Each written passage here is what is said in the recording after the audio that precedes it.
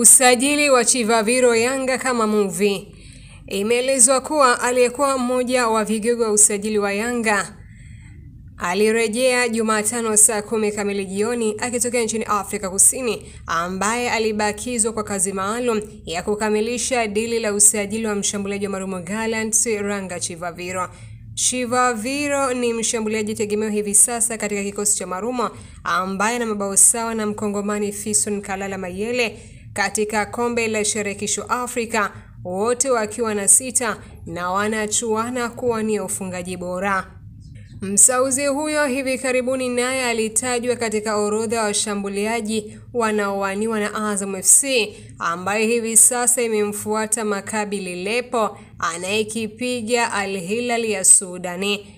Mmoja wa mabosi kutoka ndani ya kamati ya mashindano ya Yanga amesema kuwa kigogo huyo aliachwa Afrika Kusini katika msafara uliorejea jijini Dar es Salaam mara baada ya mchezo wa marudiano dhidi ya Marumo Gallants.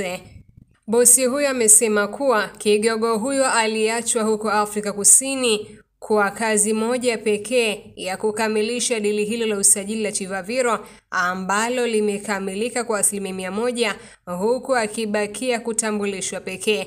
Aliongeza kuwa alitakiwa abakie huko Rais wa Yanga Engineer Hersi Said kukamilisha dili hilo, lakini kutokana na majukumu aliyonayo wakati wa timu ikijiandaa na fainali ya kombe la shirikisho Afrika, wakambakisha kigogo huyo aliyewahi kufanikisha usajili wa Mbuyu Twite anayekuwa amesaini mkataba wa awali Simba, lakini akachezesha dili na kutua Yanga. Nanukuu maneno yake.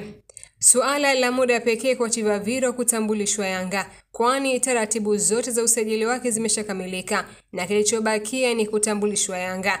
Mmoja ya vigogo wanaosimamia usajili ambaye aliyowahi kufanikisha usajili wa Twiti Mbuyo kuja Yanga na kuiacha kwenye mataa Simba, hivyo dili lake limekamilika.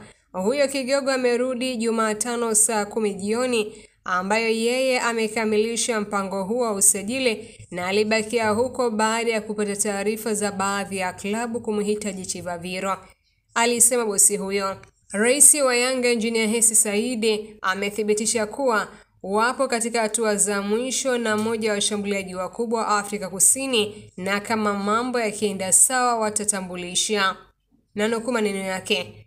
Tunataka kuwa na mchezaji atakayetambulisha Yanga katika nchi yake kama ilivyokuwa kwa Mayele. Yeye tukifika DR Congo anatutambulisha vizuri, basi ndiyo tunataka Afrika Kusini tuwe hivyo, amesema Engineer Hersi Said.